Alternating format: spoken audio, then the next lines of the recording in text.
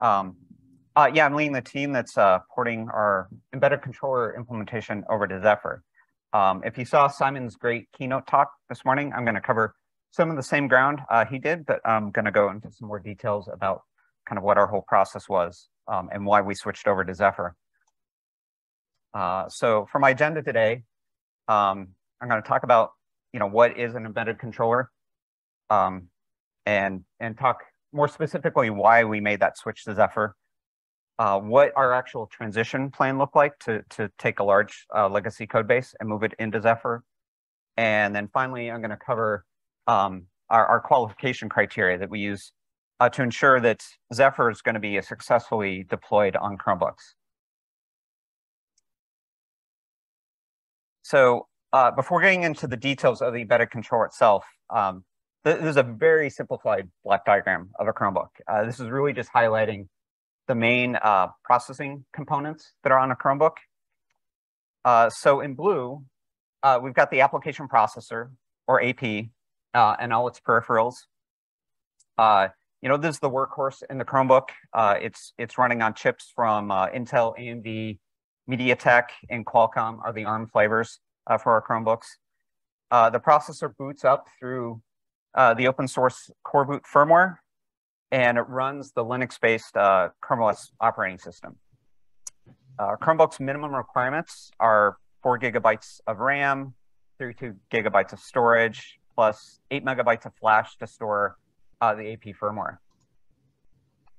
Uh, all Chromebooks also contain uh, our own Google security chip. Uh, the Google security chip is the foundation for Chromebook's hardware-based root of trust. Uh, it's part of our verified boot process uh, and authenticates our firmware images that run on both the EC and the AP. And finally, we've got the embedded controller. Uh, for Chromebooks, we require 512 kilobytes of flash, 64 kilobytes of SRAM, and a core speed of at least 48 megahertz. And we require a lot of GPIOs. Uh, the GPIOs are used to enable uh, power rails to the main processor, uh, monitor those power good signals, service interrupts from uh, sensors, USB-C, integrated chips, um, and other devices. So taking a closer look uh, at the embedded controller, you know, application itself runs on a small microcontroller. Uh, it's always powered up. Uh, it handles all the things you want the Chromebook to do essentially when the main processor is off. Uh, the EC's first role after a full reset is powering up that main application processor. Uh, this involves turning on power rails in a specific sequence and with specific timings. Uh, and this varies, uh, these the sequence and timings varies based off the, uh, the actual AP chipset. The EC also monitors signals that are coming back from the, from the AP that communicate the AP's current power state. So if the AP decides to go into a suspend or sleep state, the EC is then responsible for waking the, uh, the whole system back up if the user interacts with the Chromebook. So this could be opening the lid, plugging in a, a charger, that sort of thing. Uh, for uh, keyboard scanning, um, the keyboard interface is managed as, as a matrix of rows and columns coming out of the EC, and the EC continuously scans, uh, reporting these key presses back to the operating system. For thermal management, the EC monitors temperatures um, of lots of components on the board. This could include the AP itself, uh, the RAM, charger chips, um, and in the case of extreme temperatures, the EC can actually throttle uh, the AP uh, to uh, to protect it, or we can completely shut down uh, the application processor. Um, and if there's active cooling in the system, the EC is also going to be responsible for managing the fans in, in a Chromebook. Uh, the sensor subsystem uh, calculates the lid angle uh, of a Chromebook, and this is done using two accelerometers, uh, one sitting in the base of the Chromebook and one in the lid. And then uh, by, by combining those two, we can basically create a virtual sensor that tells us the lid angle. And this is used to, to uh, cue to the OS as to whether or not your, your device is in a, in a laptop mode or if it's in tablet mode. Um, and the, you know, and the sensor, sensor subsystem also provides just kind of general orientation information, which can then be used by uh, gaming um, on your Chromebook. The, uh, the power subsystem includes a few different tasks. Uh, you know, we have to do all the battery uh, monitoring and charging. Uh, if there's USB-A ports on your system, the EC controls when power is applied to those ports and how much uh, how much current we advertise that's available to the devices that you plug in. And then USB-C power delivery uh, is also completely managed by the EC. Um, uh, there's there's actually two other talks uh, that are being presented by Google uh, that goes a lot more depth into uh, the USB-C power delivery. So one is tomorrow um, from Diana. So I encourage you to to attend that one to get a kind of an introduction to USB-C. And then Sam also has a talk that kind of is a tutorial that shows you how to enable USB-C sink capabilities in Zephyr. Um, and the last thing uh, we've got with our EC is we have a shell interface, uh, which we actually use for our, our own hardware testing. Um, and I'm going to talk a little bit about that more. Um, uh, on a shipping Chromebook, that shell is normally in a read-only mode, uh, but you actually can, on, on just about any uh, Chromebook, uh, you can put it into an untrusted state called developer mode. And, uh, and then you can actually enable write access into that shell and interact with our EC. Uh, so Google created our own open source embedded controller back in 2012. Uh, this implementation provides all the uh, typical RTOS services, uh, including thread scheduling, semaphores, mutexes, interrupts. Uh, to date, our original Chrome EC uh, has supported more than 200 Chromebook variants. you know, so why did Google decide to switch to a new RTOS for our embedded controller? you know, we've been very happy with the, uh, the technical capabilities and features of our current solution, but we realize the industry really has seen our EC implementation is just being captive by Google. Um, there's been a limited amount of community contributors, uh, which has left Google to basically uh, have to implement all the features um, and do a lot of the driver development. And then our, our Google engineers spend a lot of time just doing board bring up work ourselves uh, the vendors that that uh, work with us um, and provide chips that interact with the EC, uh, they have to write drivers specifically for Chromebooks. Um, this this usually means that they have duplicated work, especially if they want to uh, capture markets other than Chromebooks.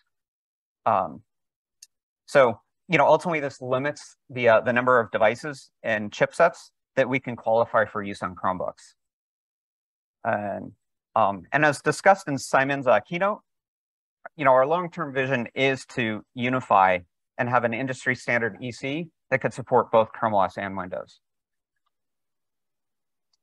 So Google evaluated, you know, uh, several options for for a new RTOS, uh, and this included Zephyr, FreeRTOS, and and also Tock OS.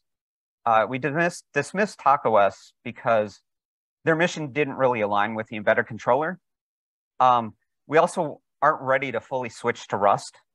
And we didn't, we, we saw that it was going to be an uphill battle to get chip vendors and manufacturers to also start coding in Rust. Uh, the choice between free FreeRTOS and Zephyr really came down to the, uh, the community around Zephyr. Uh, you know, it's apparent that Zephyr's community is very engaged and passionate about the mission.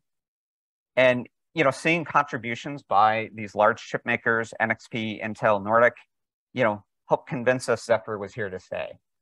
Um, you know, as I was creating this presentation uh, and, and reviewing kind of our decision making, I came across a great quote uh, that I want to share.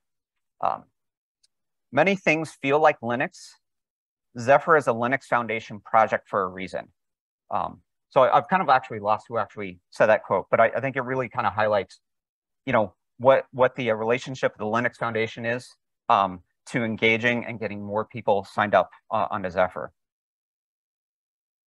You know, uh, Zephyr's neutral governance uh, is a great, another great thing in, in the tool bag that encourages more participation from the community. It's not just one company driving the technical vision. Um, you know, and with that, we see uh, it's it's easier for more chip vendors, EC chip vendors, and peripheral vendors to uh, uh, to add their code to Zephyr. And, and we've we've already gotten uh, Nuvoton, ITE, and Microchip to start act actively contributing their driver designs uh, into Zephyr. And then on the technical side, you know, with our own implementation, we never had the time to make a, a better, uh, more robust configuration framework. So that's really attractive that Zephyr has, you know, these these industry standard kconfig and device tree to conform, uh, configure all the boards. And, and, then finally, you know, the memory protection model of Zephyr is something we want to explore. Um, although we're not currently using the uh, the user model or the user space in our EC application. So Google plans to be a major contributor to Zephyr. Building on our experience with the uh, Linux and Coreboot communities, you know, Google embraces the upstream first philosophy, and we plan to upstream all our EC features. You know, so we've already landed our state machine framework library. Uh, this library is used by our USB-C power delivery stack, and it's also used by the application processor power sequencing the upstreaming of our USB-C power delivery stack is in progress. Uh, the full stack includes support uh, for both sinking and sourcing power on the USB-C connection. And we can also configure uh, all the uh, alternate modes. Uh, this includes DisplayPort and USB 4. Um, and as I mentioned earlier, we have two other talks uh, specifically on USB-C. so I encourage you to find those on the schedule and attend those. Uh, Google is also working with Intel to design a new sensor framework into Zephyr right now. Um, Android's context runtime environment, or CHRE, uh, has been approved to be part of the solution. It won't be a required uh, component, uh, but it is it is something that can be uh, leveraged. Um, uh, there's, I think it's already been recorded. Yuval from Google um, has a talk that talks more about the the new sensor framework and the roadmap that we see with that. And then uh, Google, uh, we're also working with Intel uh, to shed the technical technical debt around our application processor power sequencing. Uh, so we've been redesigning the AP power sequencing uh, from the ground up to use uh, Zephyr's device model.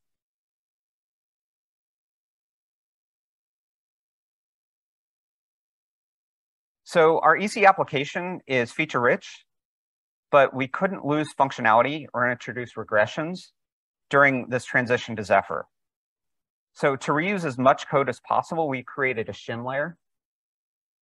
Um, you know, so the shim layer really just serves to translate all our existing APIs into Zephyr's APIs. You know, so for kernel services, there's really just a one-to-one -one mapping. Um, that, that, was, that was pretty straightforward. Uh, for device drivers, we didn't have a very good or uh, consistent configuration model, uh, but we were able to use the shim layer uh, to actually get configured by device tree. And, and with this, we were able to eliminate a lot of the custom code that we were creating uh, for each board and for each Chromebook variant.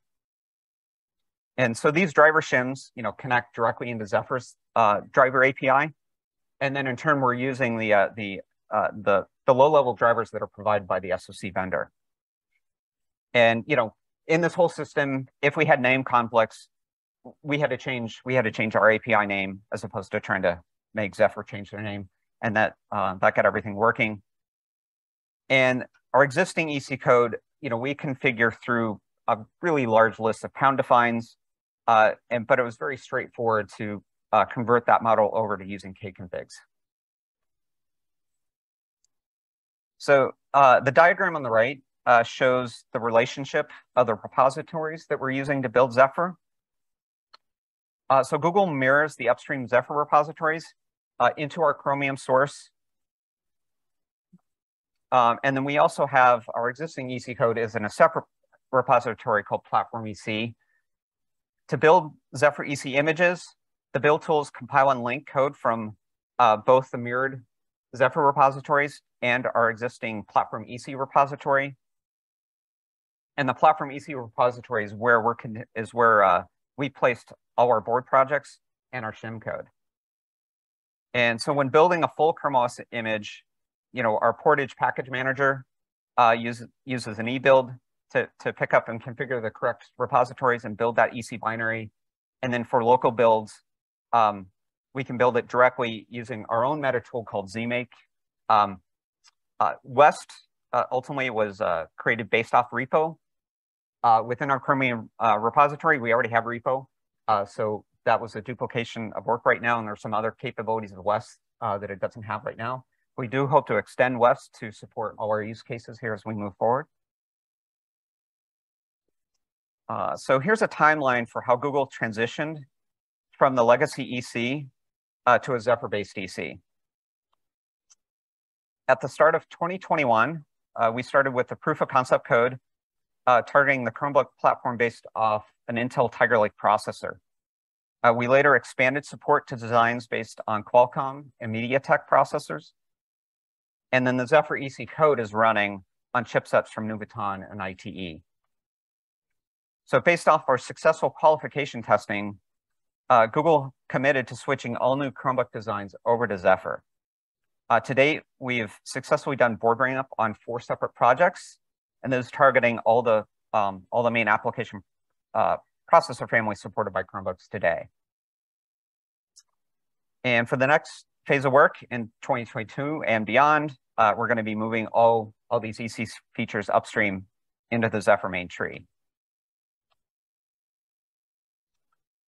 Uh, Google's current EC firmware qualification relies on a lot of hardware testing.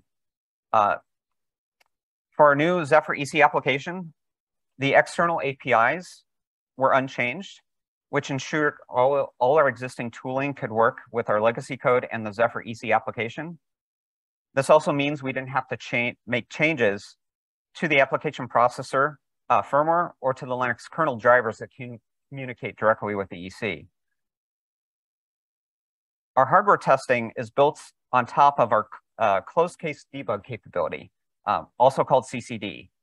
Uh, this is a feature of the Google security chip that uses the, uh, the sideband signals of the USB-C connection to expose the consoles to the application processor and the EC. The orange Suzy Q cable on the right uh, simply connects to a USB-A port on your host on your host computer and then the Type-C in connects uh, into the Chromebook. In our labs, we use a fancier version called Servo V4, uh, which also provides a network connection uh, and a USB driver for loading new Chrome OS images. The automated firmware tests use both the CD, CCD connection and an SSH connection into the Chrome OS kernel, and we inject commands and then verify responses. Uh, the Servo V4 also includes USB see power delivery support, and those capabilities can be scripted up, which provides additional test coverage on the actual hardware. So uh, beyond running our existing tests and suites, the two main metrics we, uh, we had to check when switching over to Zephyr uh, was the power consumption and the image size. The power consumption of the EC running uh, on the um, running under Zephyr we measured and, and basically match what we saw with the legacy code. So for Chromebooks, our requirement is that the EC has to consume less than 10 milliwatts of power uh, when it's in one of its sleep modes, uh, but then less than five milliwatts of power is, is actually desired. So our Zephyr EC images um, are larger than our custom, uh, our custom RTOS implementation, but that hasn't changed our minimum requirements for the microcontroller. So this ensures that uh, we haven't increased the bill of materials cost uh, for Chromebooks just because we want to switch over to Zephyr. So as part of switching to Zephyr, uh, Google is greatly expanding the level of our testing and code coverage uh, for the EC. And, and, really our goal here is to get to this, uh, uh, this effort of being hardware-free testing. Uh, our tests are split into uh, two categories. We have driver tests uh, to validate API, uh, and they these use an emulator to simulate the real hardware. The goal of the driver tests is to ensure every single line of code is tested, uh, and we track this all in GitHub. The integration tests are used to verify high-level functionality of the EC. One example we have is a USB-C charger test that validates all the steps of connecting a charger to a Chromebook. So this includes performing power delivery negotiation, uh, with that MU8 charger. We verify the voltage levels, uh, and then we verify that an MU8 battery also starts accepting current. The integration tests overall don't provide as much code coverage as, as the driver tests, but they're better for verifying bug fixes that we find on real hardware. We've created emulators for devices connected to the EC chip. Uh, because so many peripherals connect over an I2C bus, we first created an emulator for an I2C controller uh, that has been upstreamed. Uh, uh this, this emulator can support multiple emulated I2C targets, uh, including devices such as charger chips, batteries, and sensors. The USB-C power delivery partner emulates both source and sink capabilities. And this emulator also supports uh, all the needed power delivery messages to enter alternate modes. So we're using GitLab to automatically run all these hardware free tests and to generate our code coverage reports. All these tests, uh, all these results and coverage reports are available publicly from this link here on GitLab. And we plan to have an integration suite that matches every board configuration. Uh, this will ensure that we have test coverage for all the combinations of chips and peripherals that are deployed on, on shipping Chromebooks. Um, uh, later today, Yuval's giving a talk during the uh, test framework um, uh, that he's going to talk a little bit more about our emulator and test strategy. So I, I, have learned the hard way, right, not to try to do live demos during a presentation.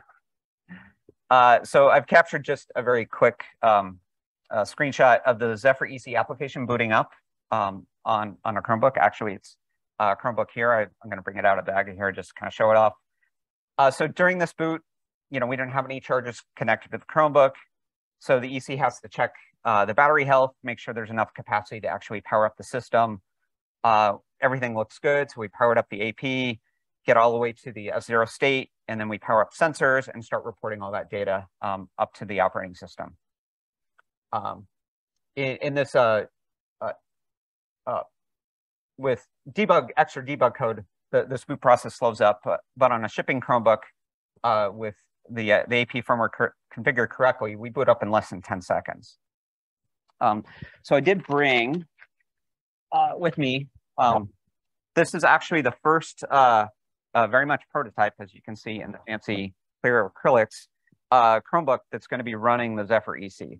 So this is a, um, a reference board uh, from Google, and then our partners uh, take this reference design and we'll, we'll turn this into a product that you'll see um, out in the field. Uh, this is running off a, a Qualcomm uh, application processor, and that's it. So yeah, after the talk, if you want to take a little closer look at it, come up and see me. Um, and then I think, yeah, that's it. So the questions? Um, uh, yeah, Greg? Oh, yeah.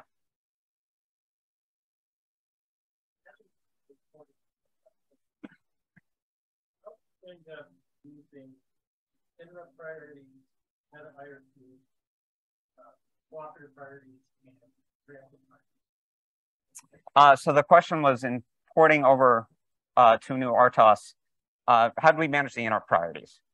Um, so uh, in our case, actually, we could largely uh, leverage the uh, the uh, EC SoC chip vendor for that. Um, you know, so uh, most of the interrupts that we're servicing were all just uh, GPIO interrupts, um, just reg regular old pin interrupts. And then for all the peripherals on the chip, we could let the EC vendor um, manage all that and, and make that work under Zephyr's model. Oh, so for thread priorities, I actually I have a slide on that. Um, so uh, yeah, so these are all the threads uh, that we have on a Zephyr EC application. So, you know, we, we already had our own thread priorities. So we were able to basically just kind of map these over into Zephyr and make sure we set these up at the same priorities. Uh, yes, Chris? Yeah. Um, the first is, um, maybe everyone is wondering uh, how can I buy that Chromebook with the Qualcomm processor, but Zephyr EC. I'm sure that's yeah. Uh, so the first question is uh, when when can you buy this Chromebook that's got a Qualcomm processor, and that's proprietary. So yeah, I can't can't divulge that information. Uh, the emulated I2C peripherals are those also just configured with device tree as if it were real hardware? So the question is, are the emulator peripherals configured with device tree? And the answer is yes. So uh, our goal uh, with that uh, we're, uh, is, I think, I think we can move things in a direction where we can hopefully use the same device tree that's used on an actual board and then use it also with the emulated system. Uh, yes.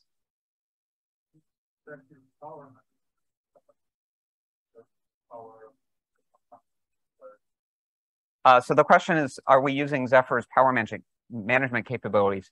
And uh, the answer is yes. Um, so uh, yeah, we we are enabling uh, the uh, the config PM option under Zephyr, and uh, and that's basically used to uh, signal to the uh, to the embedded controller when it can go into a sleep mode um, and, and go into its lowest power state.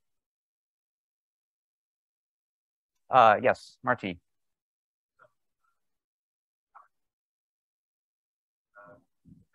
Yeah.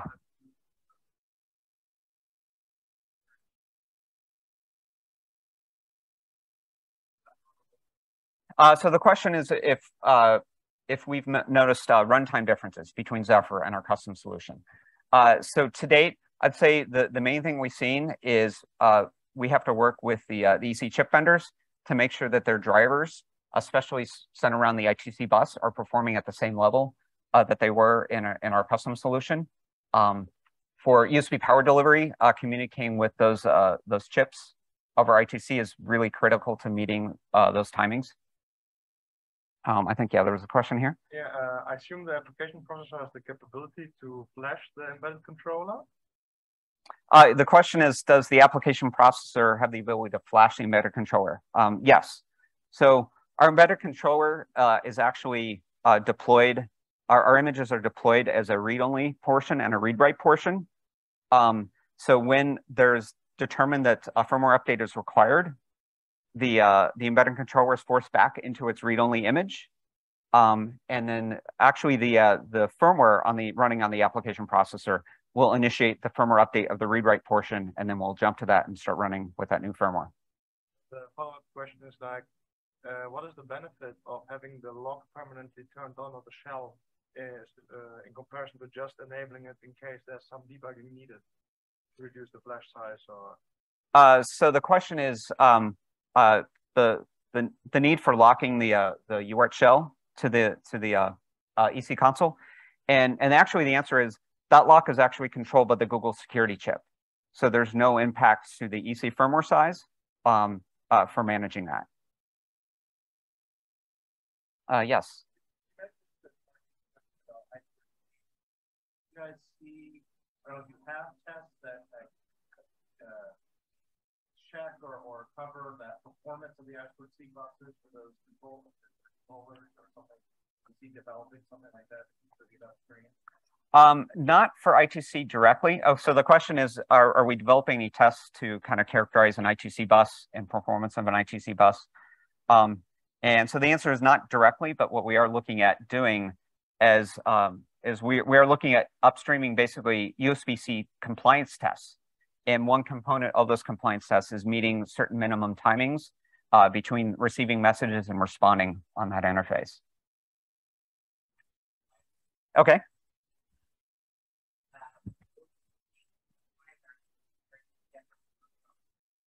Uh, so the question is, uh, will the, I guess, will the community be able to customize EC firmware uh, on Chromebooks using Zephyr? And uh, yes, the long-term uh, long-term answer to that is yes. Uh, we have some work to upstream it. I mean, you could you could build all this stuff now um, using the same uh, using the same Chromium repositories and Zephyr and kind of combine this together, but it's obviously pretty complicated. So our long-term version is that you are going to be able to build uh, Zephyr EC images directly from the Zephyr tree and probably a, a, a couple extra modules. Uh, yes, there's a question here. Uh, yes, I, I, I read somewhere that uh, Windows 11 is preventing the, the new manufacturers from being able to load Linux into a machine. What about you guys? Will I be able to install Linux on your machine? Um, so the question is, uh, is is Google on Chromebooks limiting, uh, I guess, the uh, the operating system that you can put onto onto your hardware? And the answer is no. And especially asking about Linux specifically, you know, Chromebooks are Linux. Um, um, but uh, yeah, the the Chromebook platform itself is really meant to be not only open source but open, kind of an open hardware platform. Um, so that's the reason why you can take a, a, shipping Chromebook and you can put it into developer mode. You can remove the write protection and you can put your own firmware um, on the EC onto the, the main processor and replace that BIOS. All right, so yeah, well, I think uh, we're out of time here. Okay, so I'll take one more question.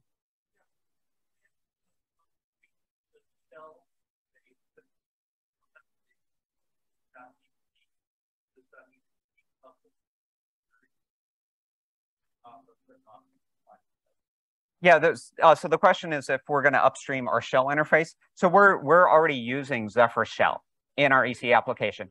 It's just the the connection, basic, basically the locking that we do for the shell interface is actually at the hardware level. So the Google security chip intercepts the uh, transmit line coming into the uh, the embedded controller's UART interface, and and it just blocks it. So really yeah. Mm-hmm. All right. Thank you, everybody.